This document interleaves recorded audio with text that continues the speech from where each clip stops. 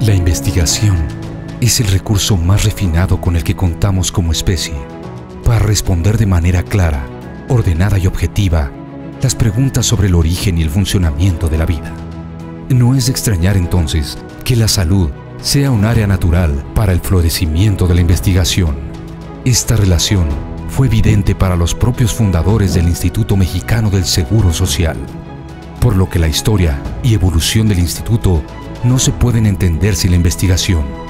A 50 años de haberse sentado las bases para la investigación institucional, hoy tenemos una emotiva historia para contar con orgullo. Desde 1943, médicos y directivos del instituto visualizaron que la investigación era complemento necesario de la asistencia médica, por lo que su desarrollo se convirtió en una inquietud constante a pesar de que no sería una empresa simple ni inmediata. Los primeros esfuerzos se los debemos al doctor Ignacio Morones Prieto y al doctor Bernardo Sepúlveda, y a partir de ellos a innumerables trabajadores del IMSS que han contribuido a la investigación. La fundación del Centro Médico Nacional en 1961 fue un momento clave, pues al interior de los hospitales de especialidad coincidieron médicos con grandes inquietudes por dar respuesta a sus pacientes sobre las posibilidades de mejorar su salud. De manera simultánea, desde el Hospital de Ginecobstetricia número 1, el doctor Luis Castelazo Ayala propició un ambiente académico y de investigación científica que dio origen a las primeras líneas de investigación del INS. En este contexto, el doctor Jorge Martínez Manatú le propuso al entonces director general, el doctor Morones Prieto, se sentaran las bases administrativas para la formalización de la investigación en el instituto. Y en 1966 se creó el Departamento de Investigación Científica en el Centro Médico Nacional Siglo XXI. El almacén anexo al antiguo Hospital de Oncología fue el espacio que se acondicionó como centro de investigación y para el equipamiento del mismo se contó con la contribución de la Fundación Ford.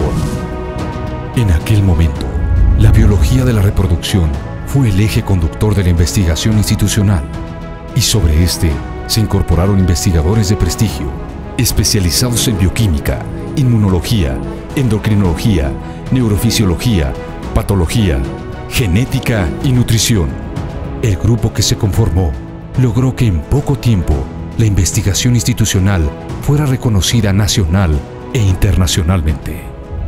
Un año para adecuar el departamento, para traer el elemento humano para trabajar en investigación básica, eh, eso fue lo que nos llevó un año. Nos quedaban tres años eh, para producir eh, y justificar más que nada la creación del Departamento de Investigación Científica en el centro médico del, Instituto Mexicano del Seguro Social. Era poco tiempo, pero, pero era un, reto fascinante. En 1970 se creó la revista Archivos de Investigación Médica con el propósito de difundir la investigación desarrollada en el IMSS. Diez años después, y luego de establecer un convenio con la editorial Elsevier, nuestra revista se internacionalizó Actualmente, y gracias al entusiasmo del doctor Luis Benítez Vibriesca, Archives of Medical Research se mantiene como la revista de su tipo con mayor impacto en América Latina. En la década de los años 70 se dieron los primeros pasos para la descentralización de la investigación del instituto y se abrieron centros de investigación en Guadalajara y Monterrey. Tomaría otros años más continuar ese rumbo, pero se lograron establecer tres centros en Xochitepec, Metepec y Morelia, además de 13 unidades de investigación en diferentes estados de la República. El sismo de 1985 obligó a los investigadores a trasladarse al Hospital de Ginecobstetricia número 4, al Centro Médico La Raza, al Instituto de Investigaciones Antropológicas y a la Facultad de Medicina de la UNAM, donde permanecieron por varios años. Sin embargo, esta reubicación no detuvo la productividad de los grupos de trabajo. Algunos de ellos incluso fortalecieron sus relaciones con otras instituciones o abrieron nuevas líneas de investigación. En 1991, con la inauguración del recién reconstruido Centro Médico Siglo XXI, varias de las unidades de investigación fueron reubicadas en distintos hospitales de tercer nivel, con el propósito de fomentar la integración de la investigación en los servicios médicos para dar atención a los problemas nacionales de salud.